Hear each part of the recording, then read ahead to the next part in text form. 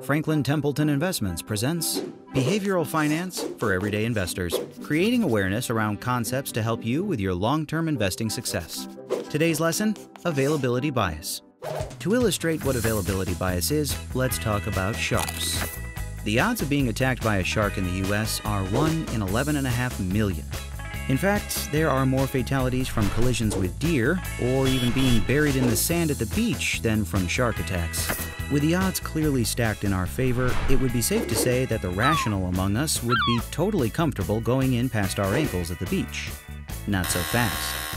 What if you just watch Shark Week on the Discovery Channel, which, by the way, conveniently airs in the middle of summer? What's top of mind now?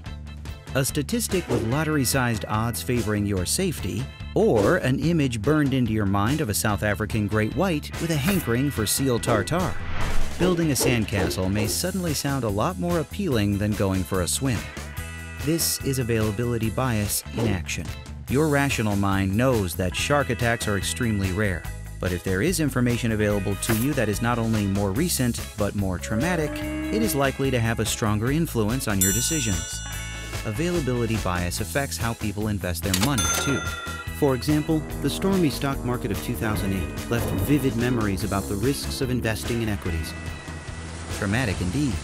Some investors reacted to this experience by putting their money into cash equivalent investments. They wanted to feel safe. But with their money earning low yields, many investors started to feel like they were just treading water.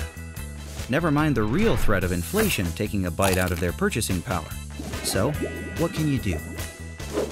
At Franklin Templeton, we believe working with a financial advisor is one of the best ways to avoid the true dangers threatening your portfolio.